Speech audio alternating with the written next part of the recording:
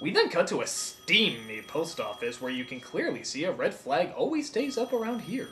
Honey, I'm sorry. I really, I, I think I'm gonna have to work late tonight. Oh, Joe, come on. Yeah, will you tell her for me that Becca Paulson likes her husband home for dinner? Yeah, honey, I will. I, honey, I will. I gotta go now. Bye. Are you ready? Am I, am I ready? Is that your question?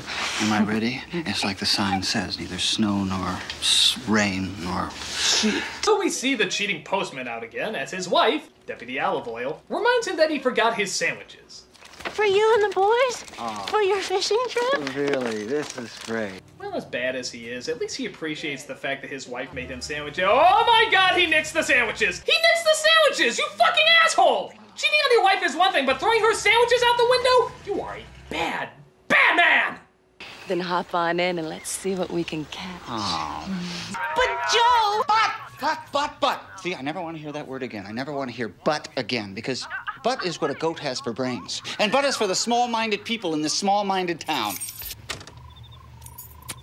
And but is what you say when you want to get away from your stupid wife.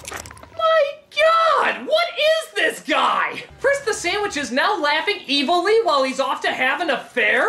Even Darth Vader would be like, Dude, you're a fucking ass. It turns out the brother really has disappeared and nobody can find him. So, the whole entire town shows up, all 12 of them, to help track him down however they can.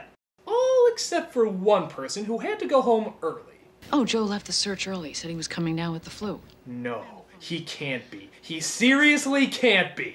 I'll be back first thing in the morning. Okay. Thanks, Becca. I'm going to puke up my lunch if he is actually. Oh my god! You left a search for a lost child to fuck the mail lady?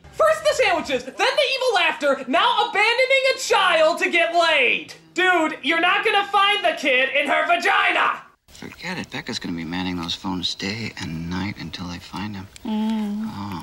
Day and night. Night and day. Mm. I can't take this guy. I really can't. He isn't just an asshole. He's like a compilation of assholes to make the world's biggest asshole. The six million dollar asshole! Gentlemen, we can rebuild it. We have the technology. We will take elements from the world's biggest dick horses and make him shittier than he ever was before. Shittier, crappier, straight up cock muncher.